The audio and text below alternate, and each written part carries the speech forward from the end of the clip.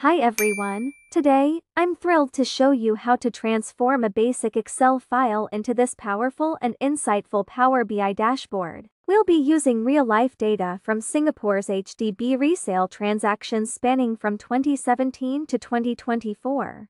Before we jump into the dashboard, let's start by downloading the dataset. We'll be using the HDB resale transaction data, which you can easily access from the Singapore government's open data portal. The website link is in the description below. Once you have the data downloaded, let's take a quick look at the Excel file. As you can see, it consists of 11 columns, including transacted month, town, street name, floor area, flat model, and resale price. We will only need to add a worksheet to group the towns into regions, which will help us analyze the data more effectively. Now, let's move on to the exciting part showcasing our Power BI dashboard. Let's begin by exploring the info icon at the top of the dashboard title. Hovering over it provides details about the dataset, including the source, the data used, and the download date, ensuring transparency in our analysis. At the top, you'll notice several filters that allow you to customize the data view. First, we have the price range filter, where you can input the range of resale prices you're interested in. Next, there's a drop-down for the transacted year, enabling you to filter the data by specific years.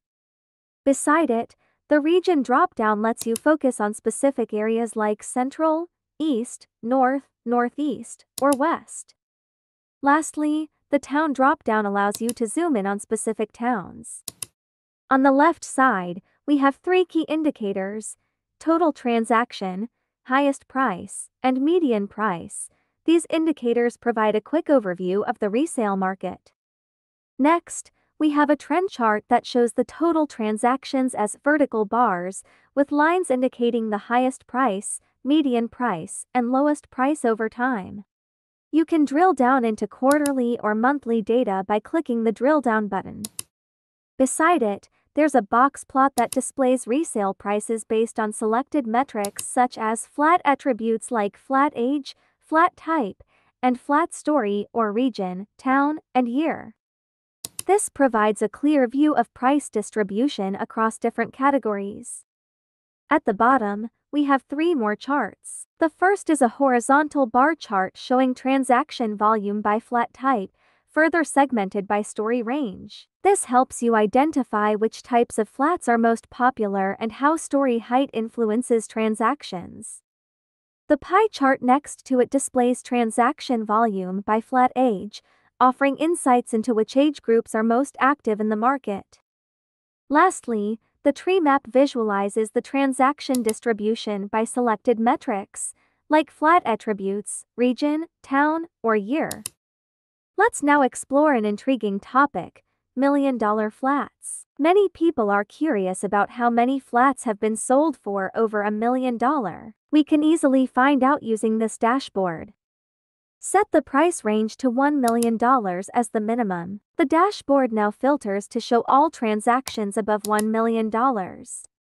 As you can see, there have been a total of 1,920 transactions exceeding $1 million from 2017 to August 2024. The trend chart reveals that these million dollar transactions started as early as 2017, with their volume increasing yearly.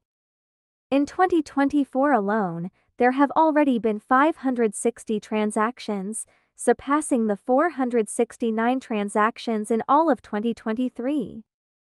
The highest price has also risen from $1.18 million in 2017 to $1.59 million in 2024, while the median price has remained fairly steady, ranging between $1.03 million to $1.08 million. The box plot beside it provides a quick overview of resale price ranges across different regions. While many assume million dollar flats are only found in popular central areas, the chart shows that all regions in Singapore have seen transactions above $1 million. However, the central region dominates, accounting for 78% or 1,500 for transactions. This might explain why many believe that only flats in the central region can command such high prices. Still, the box plot reveals that the central region highest transaction of $1.59 million is likely an outlier, as 75% of these transactions are below $1.18 million. Looking at the bottom charts, we see that these million dollar flats are mainly five room and executive flats, which are larger in size. The pie chart in the middle shows that most of these transactions are for flats aged between 6 to 10 years. You can also narrow down your analysis to specific years or regions. For instance, let's focus on the current year and last year. I'll select 2023, hold down Ctrl, and click 2024 to select both years. Then, I'll filter the data to focus on the Northeast region.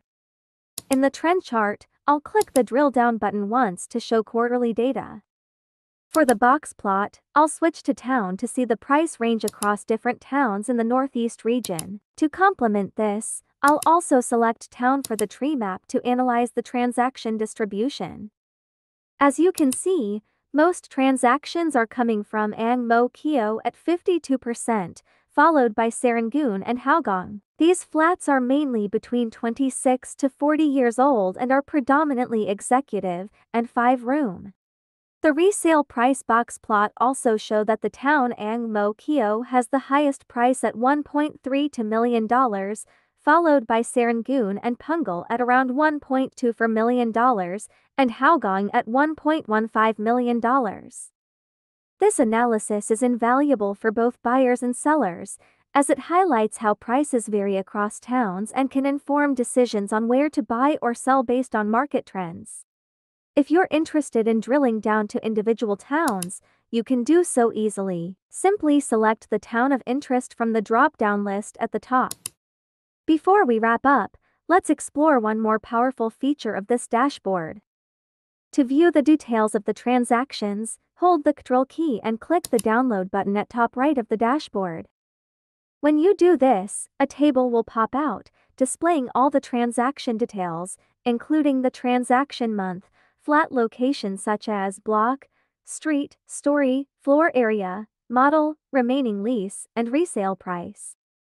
This table provides you with all the granular information without the need to search through the entire raw file. And if you need to export these details, simply click on the ellipsis in the table view. You can export the data as a CSV file for further analysis or sharing. If you like what you're seeing so far, don't forget to subscribe to our channel. Once you're done, returning to the main dashboard is just as straightforward. Hold the Ctrl key again and click on Return to Dashboard. If you want to clear all selection quickly and start fresh, hold Ctrl and click the Clear All button at the top right. Besides analyzing million-dollar flats, this dashboard is perfect for general resale market analysis. As a buyer, you can narrow down your choices based on your budget. For example, if your budget is $800,000 max, set the price range to $800,000 and the dashboard will instantly display all recent transactions below that amount. This helps you focus only on flats within your budget, saving time and avoiding frustration. Additionally, if you're set on a specific flat type or town, this dashboard will give you a clear view of the price range, so you're not caught off guard by overpriced listings.